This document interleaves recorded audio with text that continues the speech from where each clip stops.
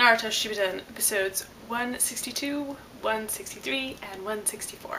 Okay, so everyone in the autopsy room died. And then Kiba and his mom show up. Oh, Kiba's mom's dog has a patch. Did the dog just talk?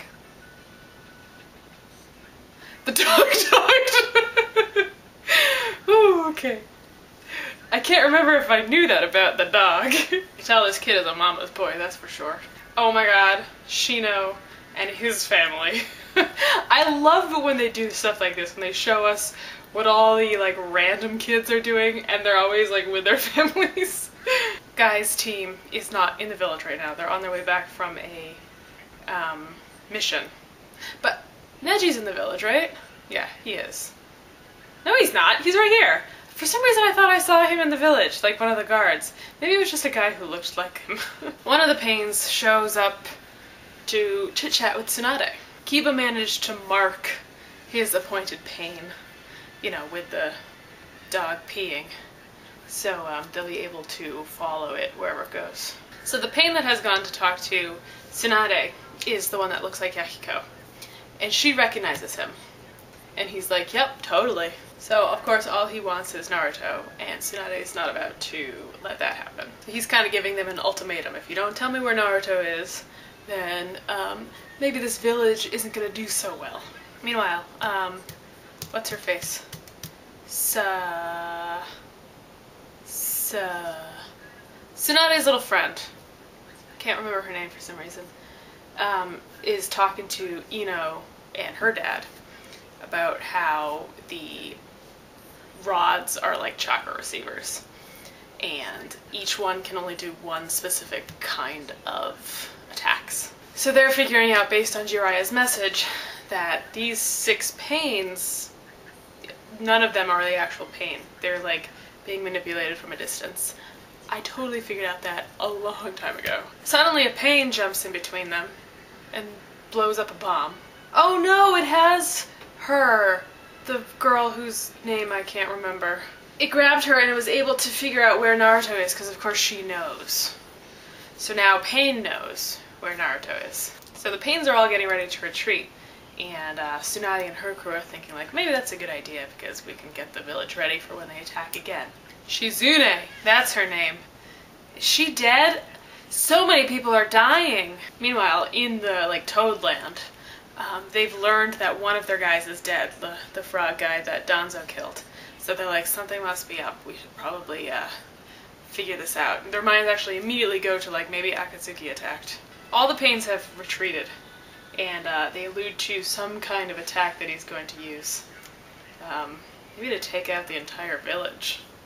Knowing that Naruto's not there, there's no sense in keeping them alive, I guess? So just as Pain is about to do his like dramatic finishing move. It looks like Naruto has finally been summoned back to the village. Oh my goodness, this is doing so much damage to the village! Jesus, he totally destroyed it. It's just rubble. Naruto finally does appear and has like a fancy new cape on and a bunch of frogs with him to fight and uh, the village exploded. um, well, Sakura was saved because she was near a slug. So maybe that's how all the people survived. I hope so. Naruto's looking around like, where did we get summoned? I thought we were going back to the village. This is weird. Good news is Tsunade survived. she looks out at the, the wasteland that is the village and is like, oh shit. So there's a big deal about the, the mark on her forehead being missing, um, because she used up all of her chakra to protect the village, I guess. Okay, now we're seeing how various people managed to survive the blast. Um, Iruka survived, and um, Shino and anyone who happened to be near Shino survived. Oh good, Konohamaru and Ebisu survived. That's good. Everyone we care about survived, including Choji's dad, which is nice. And now Choji is standing over Kakashi. And is there a chance that Kakashi's not dead? Because that would be wonderful. and Hinata's okay, and her like handler who is taking care of her got a little bit injured and she helped him. Oh, and Shikamaru's okay, and so is his little secret admirer, his little geeky secret admirer, and his dad. I guess he broke his leg. He just kind of reported it like, we're all alive, but my leg's broken. Ah. all of the pains gather to face off against Naruto. But Tsunade gets there first, and she's like, nah, I'm gonna take care of this. This is crazy what you've done to my village. I guess Naruto just took out one of the pains. Just like, like that. It's a sage mode, I guess. Everyone's feeling very nostalgic looking at Naruto, thinking about Jiraiya and thinking about, um, Minato. Yeah. Um, and he's already stronger than them, I guess. it's so cute. Um, Naruto sends Tsunade off to take cover. And, um, um, but Tsunade leaves like one of her little slugs with him and it's like really tiny. It like slithers around. it's cute. Was that Naruto just learning that Kakashi's dead? Oh, he took that like an adult.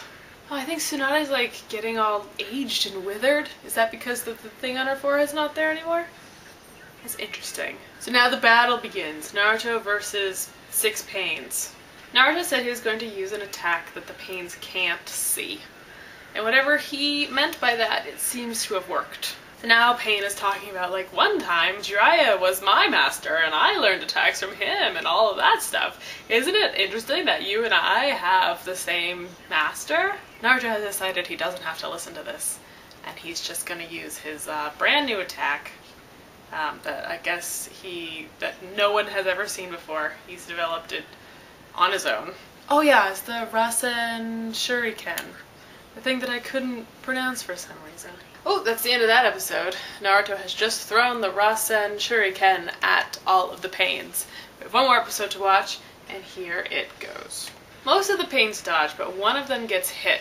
Shikamaru wanted to go and help, but his dad was like, no, seriously, like we just have to stay out of his way. He's a sage now, he's in a different class. So they've done kind of this extravagant attack that's enveloped one of the pains in total darkness. Oh, did I just not catch that, or am I stupid? uh, it was actually inside the biggest frog's mouth. And uh, she's destroyed, so that's the end of that one. So what does this make? Is this three pains left, or just two pains left? One was destroyed immediately. One was destroyed by the shuriken. One was just destroyed now, so yeah, three left. Oh, but Naruto's not in Sage Mode anymore. So, of course he's not in Sage Mode anymore, so they think they ought to merge, but they can't merge because of the Kyuubi, so there's apparently some other brilliant idea that Naruto has. Okay, so he got out of Sage Mode, so he just has to get back into Sage Mode, and then he can do two more Rasen Shurikens. And then he can do that another time after that, so he has like four more. I guess. oh! So there's two more clones in the other world in Sage mode. So he was just fighting with a clone the whole time? Or maybe these are clones? Well, whatever happened, he's back in Sage mode and it was pretty awesome. So he hurls the Rasen Shuriken at Pain, the one that looks like Yahiko. Then the big guy jumps in front and absorbs it. So I guess it's just the two of them left. I thought there was three, but I guess I miscounted somewhere. Oh, okay, no, no, that was one that we thought we had killed earlier, because we punched him in the face that one time. So, oh yeah, so there's still three. it's so hard to keep track of all of them. Naruto sets his sight on the one that can absorb ninjutsu attacks. Because unless they get rid of him, then um, they're not going to be able to use, obviously, any ninjutsu attacks. So he pretends to throw one of the Rasen shurikens at him, but instead he just ends up tackling him with a um, with a clone, and then he hurls a real one at the Yahiko pain. But as soon as it touches him, it just like dispels. Another clone attacks another pain, and with uh, with uh, two Rasengans. this is so many of all of them. And now they're like, we're not sure if you understood exactly what happened, so we're gonna explain it. Just when he's gonna be able to attack the two remaining pains, um, the Yahiko Pain's power activates, and he's able to blow them back with his uh, gravity powers. It's weird to me that, that both Naruto and the Akatsuki have the same color scheme right now. So they figured that the only way to beat Pain at this point is to use Genjutsu. Um, and knowing that Naruto sucks at Genjutsu, they're gonna have to do it for him. The frogs are. All three of the giant summoned toads have been thrown back by Pain's power, so it's pretty much just Naruto and the two little tiny old frogs left. And that's where the episode ends! Alright, so that triple feature's over, and people did want me to watch the opening theme song at the end of this group of episodes to just like get a reaction to it, but I can't promise it'll be interesting, but I'm gonna do it. So the the I mean I thought it was good. It was okay. Nothing revolutionary. I think in general Naruto opening theme songs have definitely been stepping up their game, but definitely including way too many spoilers.